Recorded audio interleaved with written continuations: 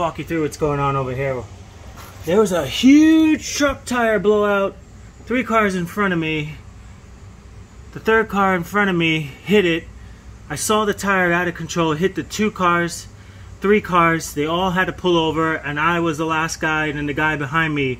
We all had damage to our cars. And I pulled over at the gas station. I didn't pull over in the highway. The other three cars, four cars actually did. This thing was massive.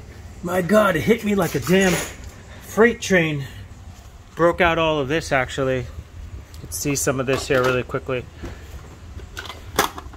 Like, um, this is moving because it hit me on this side. There was no way I could really go because there's cars all around me and over here it's messed up that bracket you can see it it broke I gotta replace this bracket this is the bracket for this uh, the the radiator here and the oil cooler looks like here too um, or maybe not not the oil cooler the radiator for sure um, so I gotta replace all of that and I'm gonna get a new bumper on eBay hopefully we'll get it all sorted out and uh, the bumpers on eBay are like 170 bucks. You can get them painted already.